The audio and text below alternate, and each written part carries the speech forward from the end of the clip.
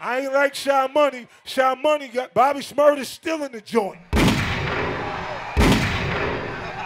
They left. They left the niggas in the jailhouse. The whole GS9.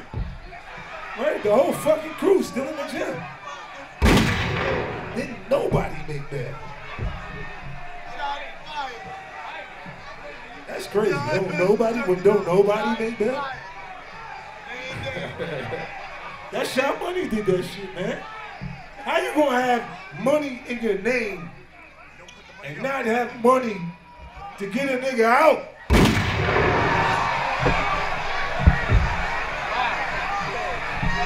Something's not right. Something's not right about all this, I'm telling you. It's not right.